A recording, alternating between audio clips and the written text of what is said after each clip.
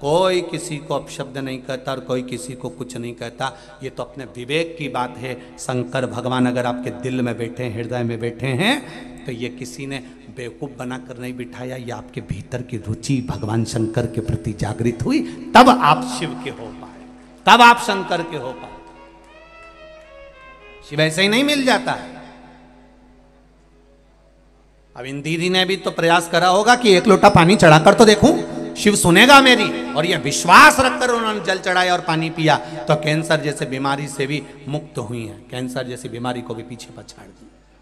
ये ये भीतर की विश्वास, भीतर की दृढ़ता, भीतर का भरोसा, ये कहाँ से लाओ? और मेरी माताओं से, मेरी बहनों से, मेरे भाइयों से, और मेरे जितने बंधु यहाँ बैठे हैं, बेटा, बेटियाँ, सबसे निवेदन करूँगा, आप प्रतिदिन बिना शर्म के बिना संकोच के एक लोटा जल चढ़ाने शिव मंदिर ज़रूर जाओ। वो तुम्हारा अंतिम समय तक हाथ नहीं छोड़ेगा, उछाल देता रहेगा। नीचे नहीं गिरने देगा, एक ठेला चलाने वाले से भी कहूँगा, एक भीख मांगने वाले से भी कहूँगा। कब तक भीख मांगोगे? और भगवान परमात्मा ने तुम्हें भीख मांगने के लिए नहीं भेजा है राष्ट्र में।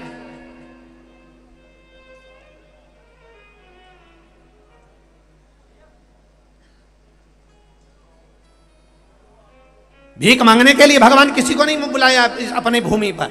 कब तक भिक्षा मांगोगे? नहीं। परमात्मा की शरण में जाइए। और एक निवेदन करूँगा सबसे। कर्जा किसी से मत लो, क्योंकि ज़िंदगी भर कर्जा का नाम है कर कर के जा, और उसी का नाम है कर्जा। ज़िंदगी भर चुका चुका के मर जाते हो, बच्चों को चुकाना पड़ता है।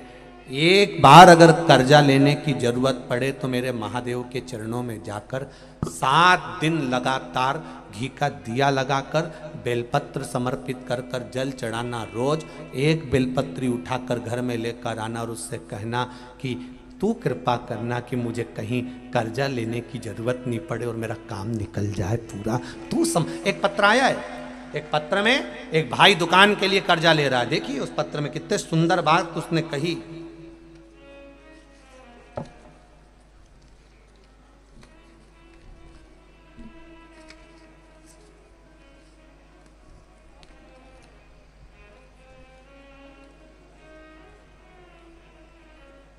मैं लता लोहार, पति विनोद लोहार। कहीं बैठे हों? लता जी और विनोद जी लोहार।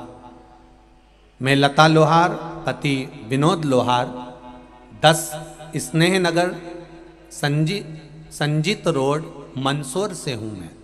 कहीं बैठी हों तो हाथ हिलाइएगा। कहीं बैठी हैं तो हाथ हिलाइएगा, जहाँ भी बैठी हूँ। लता लोहार, पति विनोद लोहार। गुरुदेव, मेरे पति की पंद्रह वर्षों से अनुकंपा नियुक्ति थी। अनुकंपा नियुक्ति की कोशिश करते रहे थे, लेकिन कोई सफलता नहीं मिली। 2019 में भी बहुत प्रयास करा, लेटर आया, लेकिन कोरोना महामारी के कारण कोई जवाब नहीं आया। तीन वर्ष निकल गए, फिर मैंने आपके द्वारा बताए गए पशुपति व्रत को किया, तथा रतलाम की कथा श्रवण की। कथा के पंडाल में आपने कहा था, बैठकर कथा सुनने का जो लाभ है, उसका फल मिलता ज़रूर है। मैंने कथा श्रवण करने रतलाम गई, वहाँ कथा सुनकर आई। मेरे पति द्वारा फिर एक बार मन में आया कि अब नौकरी नहीं लग रही तो दुकान लगाने का प्रयास करा जाए। दुकान लगाने के लिए कहा, पर पति ने कहा, मैं कल दुकान की एग्रीमेंट करवाने जा रहा हूँ, पर दुकान की पगड़ी ज़्यादा है, ढाई लाख रुपए की पगड़ी देना पड़ेगी, इतना पैसा कहाँ से आएगा? दुकान लगाने का मन में भाव आया। मैंने पशुपति व्रत प्रारंभ कर दिए और बाबा से कहा, बाबा, कर्जा ना करना पड़े ऐसी कृपा करना। और पति से कहा, तुम रुको, मेरे पाँच व्रत पूर्ण होने दो। मुझे विश्वास है कि मेरा बाबा कर्जा नहीं करने देगा। उसके बाद आप दुकान खोल लेना एग्रीमेंट करा लेना। सारी बात कर कर एग्रीमेंट वाले से बात कर ली, दुकान की चर्चा हो गई। और बाबा की कृपा देखिए गुरुदेव, केवल पशुपति व्रत करे, आठ दिन ही पूरे हुए, प्रार्थना करती रही। और बाबा की कृपा से पति के पास विभाग द्वारा पत्र आया कि आपकी ड्यूटी विभाग में डॉक्यूमेंट विभाग में जमा कर दिए गए हैं, तथा मेरे पति के सारे डॉक्यूमेंट जमा हो गए, और मात्र तीन महीने के अंदर पंद्रह वर्ष से जिस नौकरी के पीछे लगे थे, बाबा ने वो नौकरी सरकारी मेरे पति को दे दी और कर्जा नहीं करने दिया। ये शिव है, ये शंकर है। जहाँ पर बैठे हों, लता लोहार श्रीमती और पति विनोद लोहार, दस स्नेह नगर संजीत रोड, मंदसौर, मध्य प्रदेश से हैं। ये शिव तत्व है, ये शंकर, ये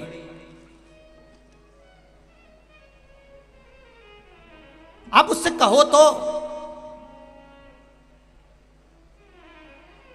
और फिर कहूँगा एक निवेदन, सियोर वाले महाराज पर एक रत्ती का भरोसा मत करना, पर भरोसा करना। तो मेरे देवादिदेव महादेव पर करना।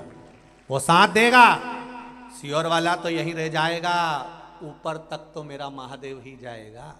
कौन किसके साथ गया है? आपको दुख आया तो क्या कोई आकर खड़ा हो जाएगा? कि सियोर वाला महाराज आकर खड़ा हो जाएगा? सियोर वाला महाराज आकर खड़ा नहीं होगा। जब द्रौपदी का चीर खिंचा रहा था तो सारे गुरु भी बैठे हुए थे, पर द्रौपदी के चीर को नहीं बचा पाए। जब गुरुओं ने कहा कि, द्रौपदी क्या चाहती है? द्रौपदी कहती है, मैंने आपसे गुरु मंत्र लिया है, आप मेरे गुरु हो। अरे, मेरा चीर खींच रहा है, गुरुदेव। तुम तो बोलो। गुरुजी कहते हैं, द्रौपदी, यहाँ सभा में जितने बैठे, कोई साथ नहीं देगा। तेरा गुरु मैंने मंत्र दिया, मैं भी साथ नहीं दूँगा। पर एक बात याद करना, द्रौपदी, गुरु भले साथ ना दे, पर गुरु ने जो वचन कहा है, वो साथ दे जाएगा। तो बुला उसको। द्रौपदी, मैंने जो मंत्र दिया था, पढ़। और द्रौपदी ने फिर मंत्र पढ़ा तो भगवान द्वारिकाधीश ने आकर चीर बचाया। गुरु साथ ना देगा, पर गुरु का वचन साथ दे जाएगा। आप भी याद रखना, हम भले तुम्हारे सामने खड़े हो ना हो, पर एक बात याद रखना कि श्री शिवाय नमस्तुभ्यम और एक लोटा जल तुम्हारा साथ आखिरी तक देकर जाएगा, वो तुम्हें छोड़ेगा नहीं